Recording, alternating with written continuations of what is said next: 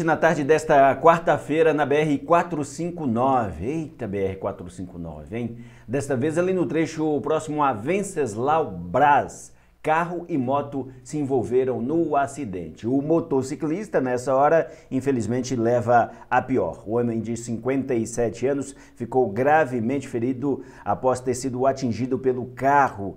Ah, no quilômetro 181, o motorista do carro, que nada sofreu, de 60 anos, contou à polícia militar rodoviária de que estava fazendo uma conversão na via quando atingiu a motocicleta. Ainda de acordo com a polícia, a conversão era feita em local proibido, ou seja, de faixa contínua. O carro não poderia cruzar a rodovia para entrar numa estrada, por exemplo, ou simplesmente retornar no sentido que ele estava.